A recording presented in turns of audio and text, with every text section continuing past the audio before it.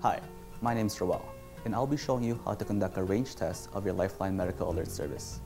For this demonstration, I'll be using this communicator and this personal help button. If your products look slightly different, that's okay. You may notice that your unit's announcements and beeps are not identical to the ones you hear during this video, but everything works the same way. It is important to conduct a range test in order to understand which areas of your home are covered by the Lifeline Medical Alert Service.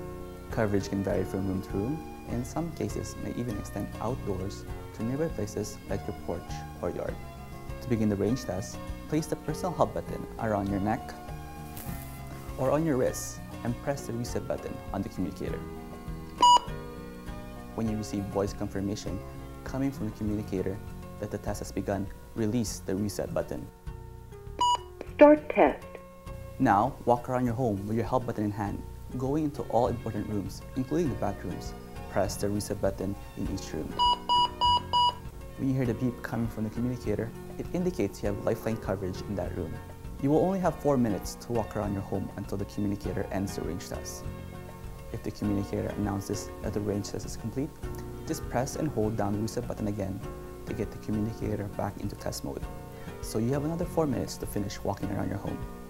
If you have a large home or limited hearing, you may need a second person to listen for the confirmation beeps coming from the communicator. When you have covered all areas of your home, just press the reset button again to complete the range test. End test. Ready. And that's it. Thank you for choosing Philips Lifeline.